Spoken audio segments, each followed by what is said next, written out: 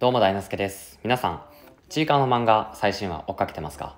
いやー、このパジャマパーティーズの黄緑の子が主人公の話が始まって、すごいワクワクしてるんですけど、いやー、前回の動画でお話しさせてもらった、なんか俺という単語が出てきて、この世界には性別というだあの、まあ、オスメスという概念があるんだっていうのですごい衝撃を受けたんですけど、ただこのストーリー自体もすごい面白くてね、だから、まあ、前回の続きから一緒に、皆さんと一緒にストーリーを振り返って、今後どういう展開になるのかっていうのを予想していきたいなっていうふうに思うんですけど、この黄緑の子は、あの、まあ、パジャマパーティーズの、う、うわわ、うわっていう曲がすごい売れたのはいいことなんですけど、みんなその曲ばかりで、を口ずさんでいて他の新曲とか一生懸命考えていてもあんまり盛り上がっていないわけなんですよね。それに対してそのまあ他のメンバーたちもまあもちろん一生懸命やってくれているしそれはそれでいいんだけどただこれでいいのかなって。もっと他にも自分の表現したいものがあるのにそれを周りに認めてもらえなくて昔の自分のその作り上げてきたものが一人走りしてしまっている状況なわけなんですよね。どれだけ頑張ってもまあその例えば俺今ちょっとパッと中田敦彦さんが思い浮かんだんですけど彼がその武勇伝だったりとかパーフェクトヒューマンとかその過去の作品ばかりを注目されて今の自分を見てもらえないことにすごいフラストレーションを感じていたって話を思い出したんですけどそれと同じようにこの黄緑の子は一生懸命頑張ってもずっと他の人たちから見た他の地位家族たちから見たら黄緑の子といえばパジャマパーティーズの「ううわわうわ」しかないわけなんですよね。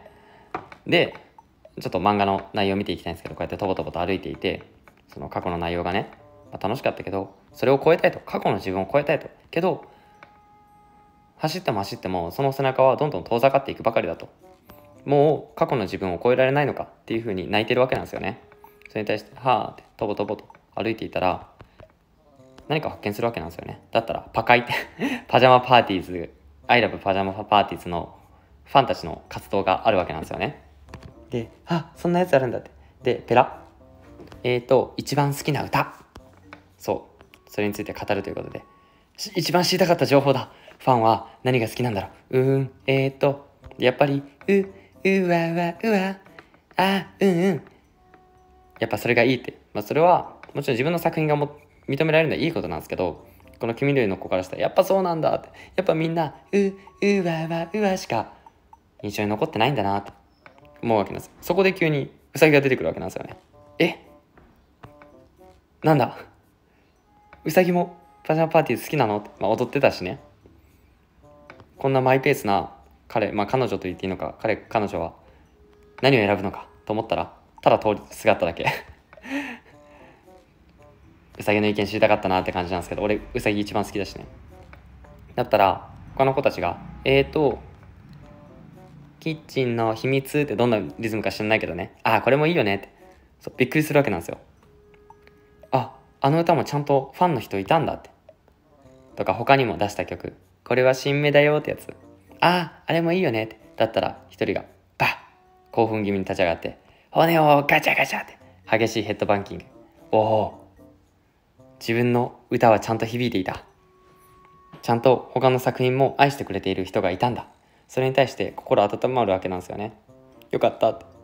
他の作品も愛してくれていたんだって。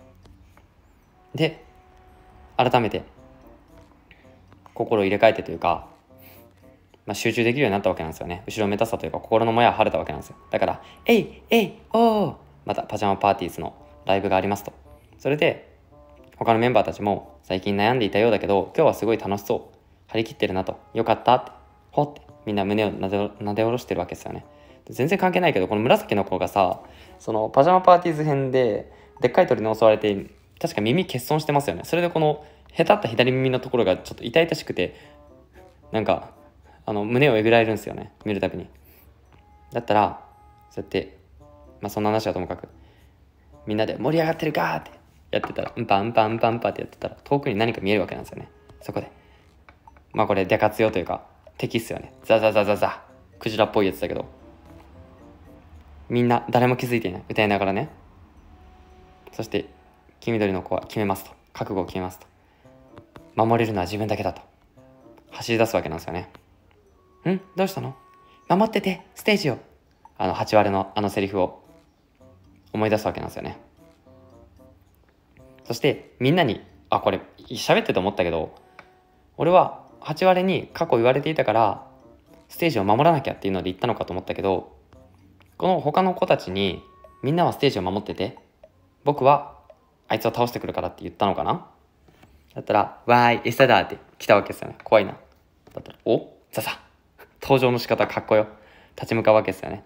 ポコポコポコポコ。おおやるじゃねえか、ちっちゃいくせに。けど、ペロリン。すぐに食われちゃうわけなんですよね。やばい。あーん、やばい。っていうところで、俺の見てる最新話が終わってるわけなんですよね。いやー、どうなっちゃうの？さすがにこれで食われて終わりっていう風にはならないと思うけど、まあ、武器もない状況で、みんなどうやって助けてくれるんだろう。みんなが、そのファンの人たち、子たちも群がって、期待してくれるのかな？なんとかなれっていう風に、なんとか8割がしてくれたいんですけど。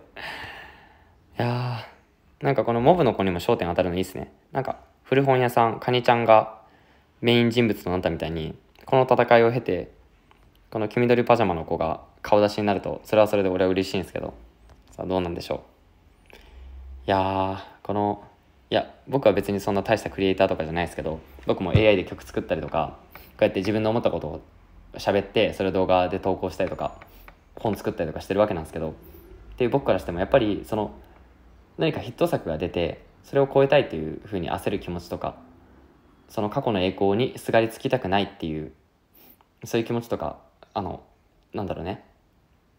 一般人の僕でも想像がつくんでこの子が抱えているその大ヒットを生み出したそれを超えなきゃいけないというプレッシャーってしかも終わりがない迷路じゃないですか。